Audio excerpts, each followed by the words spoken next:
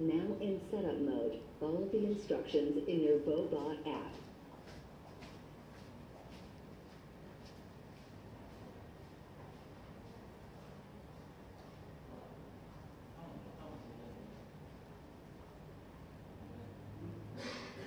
You have connected to Vobot. Go ahead and finish the setup.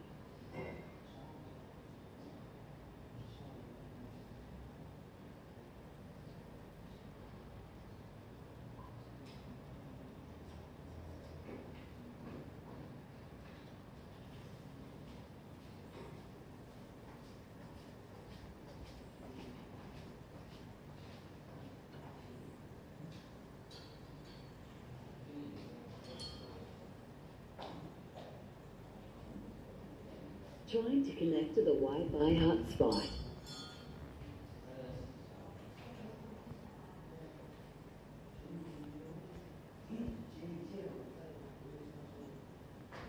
Wi-Fi connected.